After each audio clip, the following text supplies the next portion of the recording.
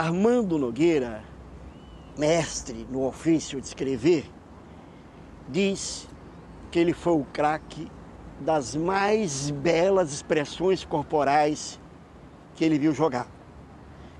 Mas também a personalidade mais dramática que ele conheceu no mundo do futebol.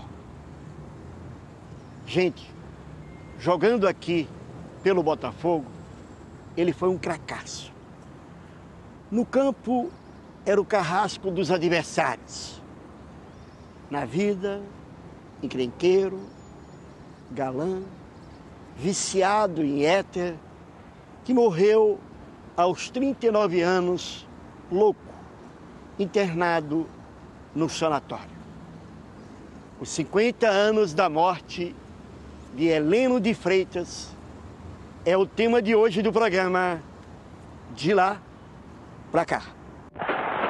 Tudo pronto para a sensacional decisão do Campeonato Brasileiro entre as seleções do Rio de Janeiro e de São Paulo. Colossal plateia lota as dependências do estádio de São Januário neste belo domingo de sol com temperatura amena, ideal para a prática do velho esporte bretão. Procede-se agora o orçamento do pavilhão brasileiro e execução do hino nacional. Momentos de grande expectativa no estádio. Bola na linha média do São Paulo. Tenta o domínio Rodrigues, rechaça Newton. Subiu o balão de couro. Bola cai nos pés de Jorginho. Vislumbra Heleno se filtrando pelo miolo. Faz o cruzamento. Cabeçada de Heleno. Gol!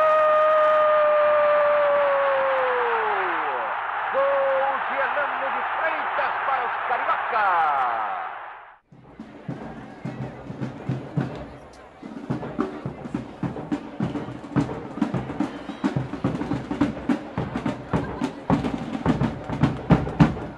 José Henrique Fonseca é um cineasta brasileiro consagrado e é um prazer tê-lo aqui para falar sobre Heleno de Freitas. Conta de novo para gente o que levou você a, a querer fazer um filme sobre o Heleno. É. Isso realmente é uma coisa complicada, né? Assim, é, é, um personagem que me, me, impressionou muito quando eu soube da história dele, assim. Eu relutei muito em fazer o filme, cheguei a estar tá, tá dentro desse filme e sair dele algumas vezes, assim. Porque o Helena era um personagem muito carismático, mas ao mesmo tempo também era muito enraivecido. Era um personagem que ele tinha é, ele, ele, colecionou muitos ódios à volta dele na época, né? muitas mulheres também, mas assim, entrava em muitas confusões e tudo.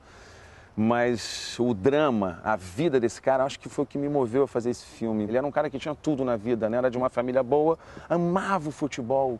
Tem umas cenas dele garoto, na vida dele no filme também, na praia, né? Aquele o pé na areia branca, né? Na época em que a areia de Copacabana ainda fazia aquele ruído, uhum. que hoje em dia é só areia uhum. do Nordeste, algumas praias. Uhum. Né? Quer dizer, então tem esse início do Heleno, a paixão dele por Copacabana, né? Que Copacabana era o centro do mundo na época. Uhum. Era um Rio de Janeiro que era um paraíso, né? Era uma, as cantoras de cassino, uh, os, os cassinos do Copacabana, o Cassino Atlântico, da Urca.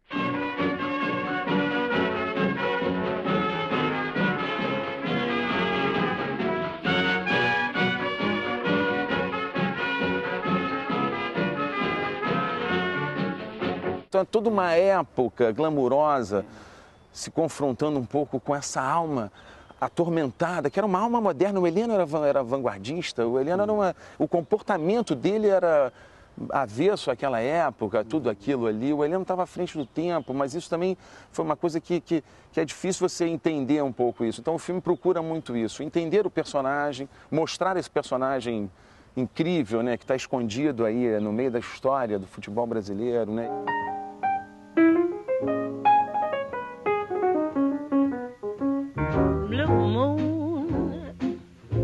Saw me standing alone without a dream in my heart, without a love of my own.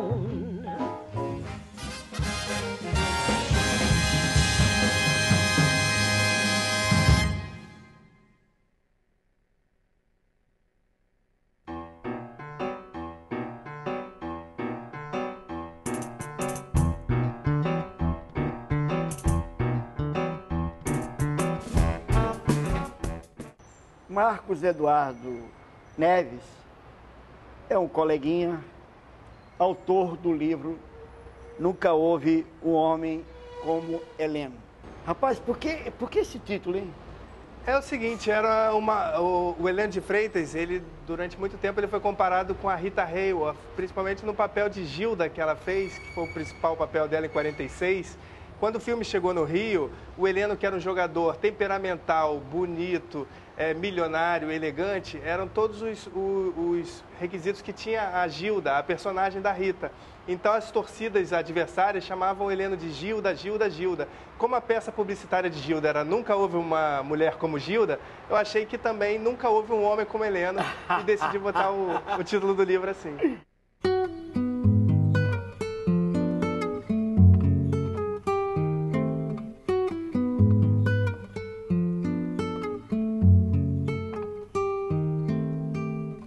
Ô Marco, conta pra gente aí, quem foi Helena de Freitas? O Heleno de Freitas ele nasce numa família de muitos recursos é, no interior mineiro, São João de Pomuceno.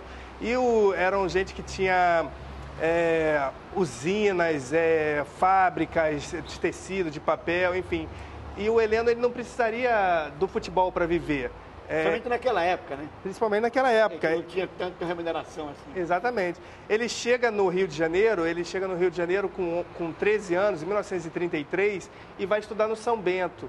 Quer dizer, depois ele se forma em Direito. São Bento, que é um colégio da elite. É um colégio da elite, um é, colégio é. super... É, é, e depois ele se forma em Direito é, na Faculdade Nacional de Direito, e então ele poderia exercer uma, um cargo de advogado, de juiz, de diplomata, desembargador. Ele falava línguas, ele era muito elegante. Ele então, e, e, só que o que ele mais gostava era de ver a torcida gritando o nome dele.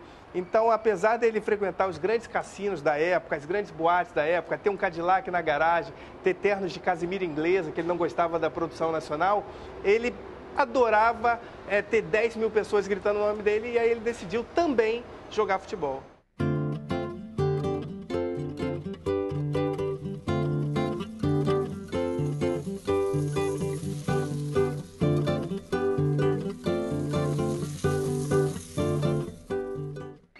João Máximo é um escritor, um super coleguinha, querido toda a vida, autor de, de vários livros, e entre os quais gigantes do futebol brasileiro, não é isso? Sim. Com o nosso Marco de Castro. Exatamente. E um dos personagens desse livro é exatamente o, o Heleno de Freitas. Ô João, você viu o Heleno jogar isso mesmo? Vi. Então, vi o Heleno fala. jogar. O que é interessante até a respeito do Heleno é que a primeira imagem que eu guardo de futebol, a mais antiga, é exatamente do Heleno.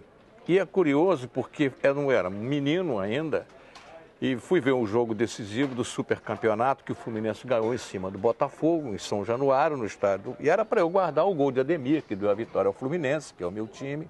Ou então os dribles do Orlando Pingo de Ouro. Era para eu guardar todas essas coisas como torcedor do Fluminense. Mas o que eu guardei nesse jogo foi o Heleno.